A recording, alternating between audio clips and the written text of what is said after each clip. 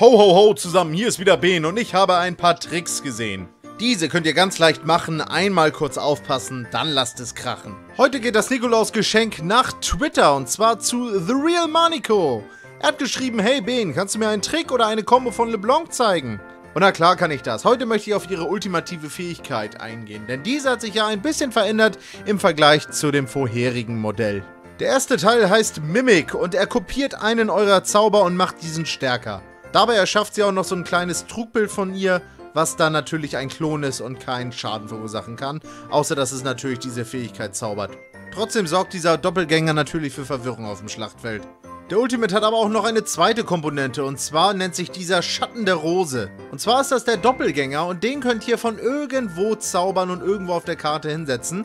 Dann wird euer Doppelgänger von dort aus starten und zum nächstgelegenen Champion hinlaufen und den letzten Spell, den ihr gezaubert habt, auf diesen gegnerischen Champion casten. Nehmen wir mal an, das war zum Beispiel eure Kette, dann geht dieser Klon dahin und zaubert die Kette auf euren Gegner.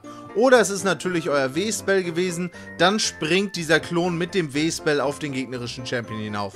Wohlgemerkt macht diese Fähigkeit keinen Schaden, sie will nur den Gegner verwirren. Und genauso solltet ihr das auch machen, dass ihr euren Klon in eine Lane schickt, nachdem ihr eure Lane verlassen habt. Benutzt diese Fähigkeit nicht, wenn ihr noch auf der Lane seid, weil dann kann der Gegner das ganz schnell herausfinden, dass das kein Klon ist. Vor allem, wenn das eine Premade ist im gegnerischen Team und die halt sehen, dass in der Mitte immer noch die richtige LeBlanc unterwegs ist, dann könnt ihr damit niemanden betrügen. Wenn ihr aber euren Klon in eine andere Lane schickt und ihr seid gerade beim Recallen und seid irgendwo in einem Gebiet, wo der Gegner euch nicht sehen kann, dann könnt ihr durchaus gegnerische Summoner-Spells damit verbrauchen.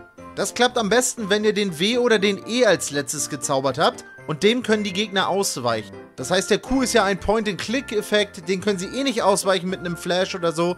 Deswegen können sie dem W oder dem E mit einem Flash ausweichen und können das in einer engen Situation, wenn sie wenig HP haben oder so, auch einfach verschwenden, weil sie dem Tod natürlich aus dem Weg gehen wollen. Und wenn sie das benutzen, dann ist es natürlich extrem wertvoll. Das heißt, kurz bevor ihr recallt oder so, sendet doch einfach mal euren Klon in eine Lane aus, aber nicht so schnell, dass es unrealistisch ist, ne? Also nicht aus dem Bild rauslaufen und dann sofort in der gegnerischen Lane spawnen, sondern wartet kurz, ihr könnt ihn ja auch in der Basis benutzen, aber Hauptsache, ihr habt auch den W- und den E-Spell als letztes gezaubert und dann schickt diesen Klon in irgendein Gebüsch, so als würdet ihr simulieren wollen, dass ihr gerade in diese Lane rein roamt, kann das durchaus sein, dass ihr damit Summoner-Spells der Gegner verschwendet. Ich hoffe, der Trick hat dir weitergeholfen und wenn auch ihr noch einen Vorschlag habt, dann schreibt ihn hier in die Kommentare.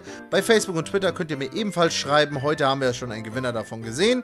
Das lohnt sich also auch für euch. Und außerdem bekommt ihr da alle Aktualitäten über mich und meinen Kanal. Und natürlich freue ich mich auch noch mehr von meinen Benausen dort zu begrüßen. Jetzt wünsche ich euch noch ein wunderschönes Nikolausfest. Ich hoffe, dass eure Stiefel prall gefüllt sind. Und dann sehen wir uns zu Türchen 7 morgen, Leute. Eine schöne Weihnachtszeit euch. Haut rein.